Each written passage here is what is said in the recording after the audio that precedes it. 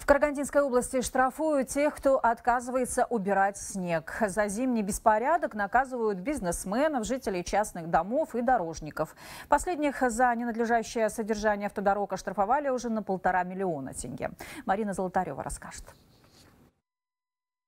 Погодные аномалии, метель, оттепель и резкое похолодание закончились три недели назад, но карагандинцы до сих пор преодолевают снежные и ледяные барханы.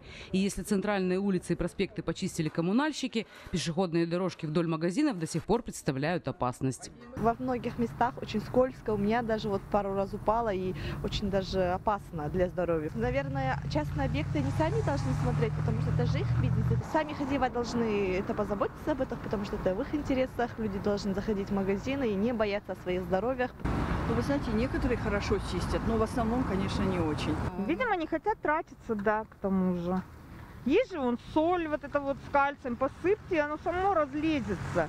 Должно все продумано быть я так считаю. Но они, наверное, должны их собрать, собрание, предупредить, прежде чем как-то штрафовать, как-то наказывать. Полицейские обходят дозором торговые центры, аптеки, кафе. За территорию возле них отвечают владельцы. Первый раз стражи порядка предупреждают, потом ударят по карману. За нарушение правил благоустройства штраф свыше 100 тысяч тенге. Просто вот этот лед надо будет вам отбить, убрать. Мы даже Да. не спорим. Дорожные полицейские организовали чистые патрули, проверяют содержание областных автодорог, чтобы не было наледи, занесенных участков и колеи. За чистоту дорожного полотна отвечают 9 компаний. Выдаются предписания и акты обследования, в котором указываются все имеющиеся недостатки, сроки их устранения.